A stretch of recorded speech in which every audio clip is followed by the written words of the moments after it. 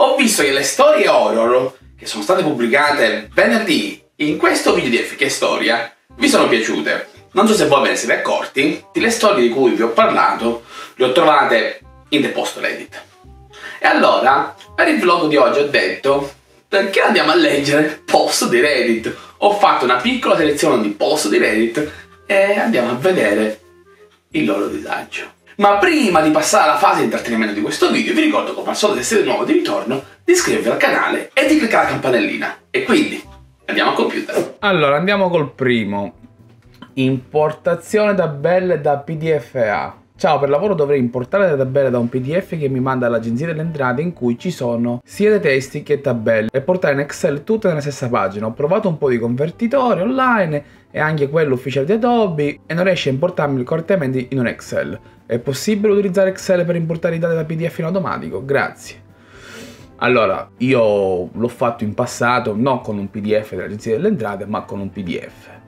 Allora io cosa ho fatto? Io ho scaricato questo PDF che contiene una tabella, da Excel vado come si faceva, data e get data from file, from PDF, seleziono il file, qui mi dà una lista di roba che posso importare. Vabbè, c'è questa tabella, lui dice che me la importa in questa maniera. Load. Boom, fatto. Andiamo al secondo post di Reddit. Qualcuno mi spiega in parole semplici perché siamo riusciti a sbarcare sulla Luna, ma in Windows non è possibile modificare il nome di un file mentre è aperto. Non te lo so spiegare, mi dispiace. Andiamo a un altro post. Modificare file htaccess in Docker.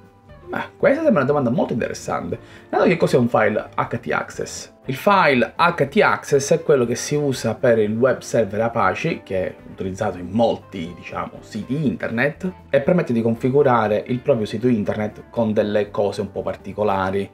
Eh, non voglio entrare nei dettagli. Quando si compra uno spazio web non si può modificare l'HT-Access, qualora lo si possa fare, cioè caricare il proprio HT-Access, si hanno sempre delle opzioni limitate. Comunque, in Docker. Che cos'è Docker? Per chi non lo sapesse, Docker è un sistema di containerizzazione.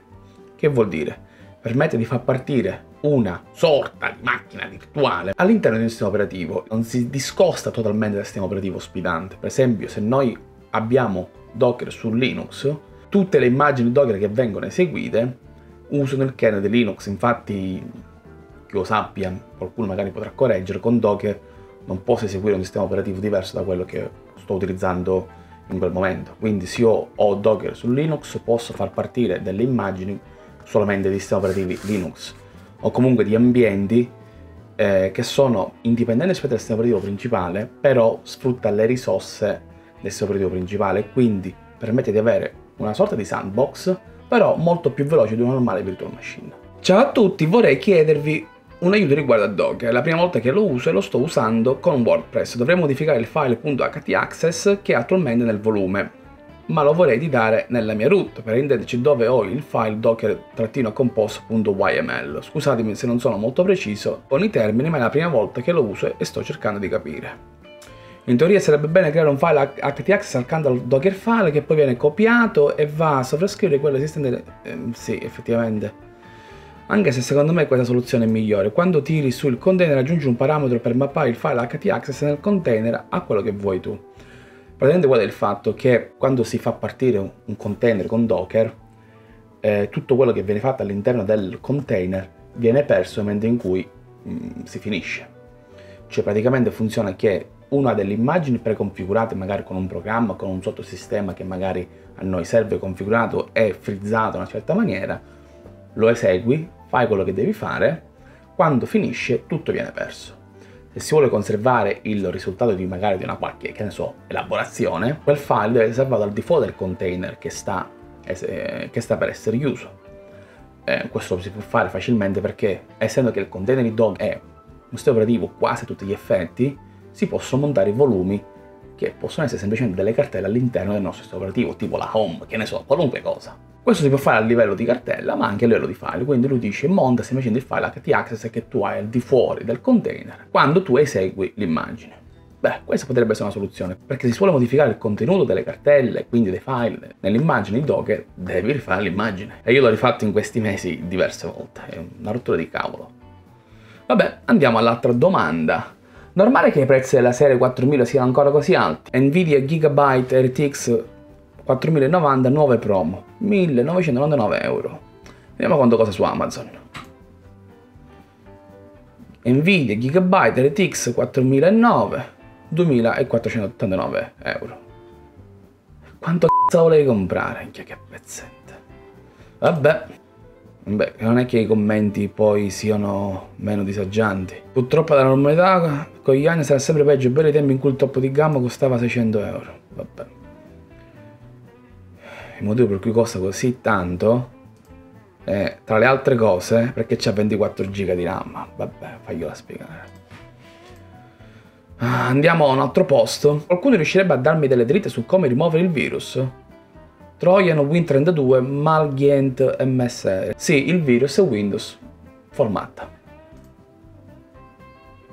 Non dormo da 36 ore e non riesco a installare Windows 10 sul mio PC per via di vari errori, blue screen of death, aiutatevi vi prego. L'ho letto sto posto, è molto lungo, faccio il riassunto delle puntate precedenti. E a parte che usa il termine masterizzare per dire che ha messo un'immagine di Windows su una chiavetta USB, già questa cosa mi turba. Vabbè, lasciamo perdere questa cosa. Ha messo Windows su una chiavetta USB, non gli partiva, gli dava questo errore polpette. Poi ha usato un'altra chiavetta USB e gli funzionava, ha installato Windows, però gli dà eh, blue screen of the death e gli dice questi disagi qua, gli fa ho letto pure i commenti, sono d'accordo con quello che scrivono i, le persone nei commenti perché i disagi sono sul computer. Qualcuno suggerisce togli e rimetti la RAM, cambia la RAM, cambia SSD e io forse aggiungerei anche cambia computer. Questo è il genio secondo me. API gratuite C++. Ciao, qualcuno conosce delle API gratuite possibilmente in C++? Mi sarebbero molto utili, grazie. Sì, io le conosco e sono queste che vedi a schermo. Guarda che bella API che hai. Infatti qualcuno scrive API di che tipo? API di cosa? Cosa vuol dire? che disagio! Se troviamo qualche altro posto.